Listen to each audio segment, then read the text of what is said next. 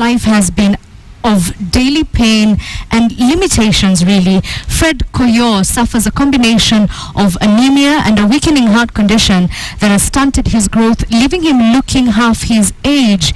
As if that's not enough, his family lives in abject poverty, leaving him under the care of his aging and unemployed grandmother. KTN's Fred Omullo has that story from the lakeside city of Kisumu.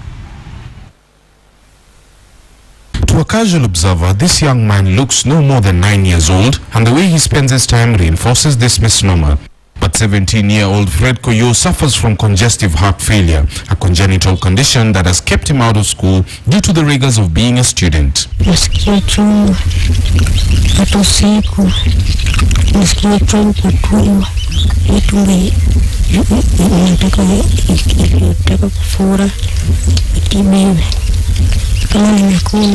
He now resides in Kajulu Estate in Kisumu with his grandmother Rhoda, who has to take care of him and his six siblings after their mother died of cervical cancer in January and their father abandoned them. Ni kulima, najaribu kulima, wakati mavuno nalima.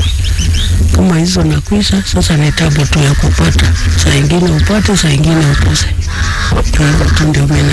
Efforts to deal with Fred's condition have proven difficult for those concerned as the financial implications are staggering.